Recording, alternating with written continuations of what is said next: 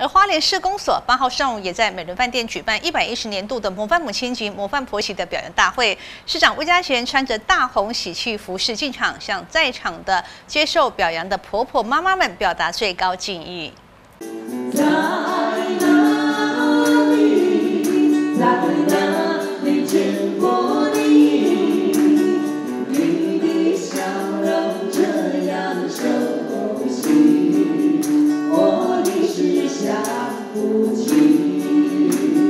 花莲市公所办理的模范母亲及模范婆媳表扬大会，八号上午在五年级民歌二重唱的一首首经典老歌中正式揭开序幕。现场工作人员不是穿着旗袍，就是西装笔挺，呈现优美浪漫的氛围。而市长魏家贤更是协同妻子吴运成及两个女儿，穿着大红喜气的服饰进场，向在座的婆婆妈妈们给予最高的敬意，并预祝大家母亲节快乐。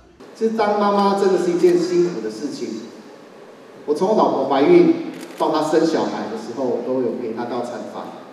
那个过程里面真的是非常非常辛苦。我相信有陪过太太到产房的，都应该有这样的一个经验。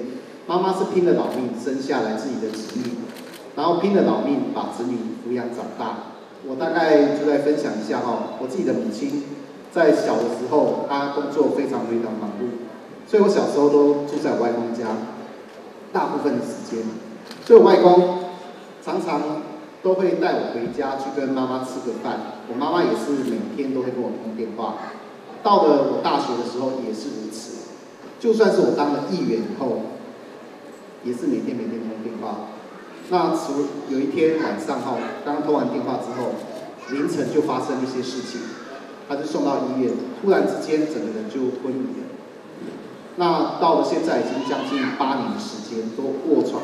卧病在床，所以我想要跟大家分享，爱要及时，要好好照顾自己身边的每一个人，不要等到后悔的时候才要弥补，也弥补不回来。那今天我要谢谢所有全天下的妈妈，也要谢谢我的太太，我们所有场的父母朋友们。花莲市今年有五十一位模范母亲及六对模范婆媳接受表扬，每人手持会有花卉的圆扇，一一上台由市长亲自颁发讲座。而市长魏家贤也以亲身经历呼吁大家，爱要及时，并照顾好自己身边的每一个人。妈妈是一个相当辛苦的天职，要感念母亲的辛劳，好好孝顺父母。记者徐丽琴，花莲市报道。